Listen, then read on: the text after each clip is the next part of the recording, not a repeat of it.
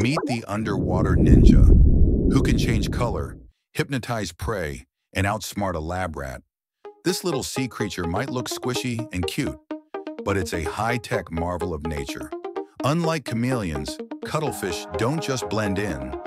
They can broadcast emotions and flash signals in complex patterns. With over 20 million skin cells called chromatophores, they switch shades in milliseconds. And their W-shaped pupils, perfect for spotting prey from nearly any angle. But here's the kicker, they're colorblind. They even hypnotize crabs by pulsing waves of color, then strike with ninja precision. And their brain? Bigger than any invertebrate their size.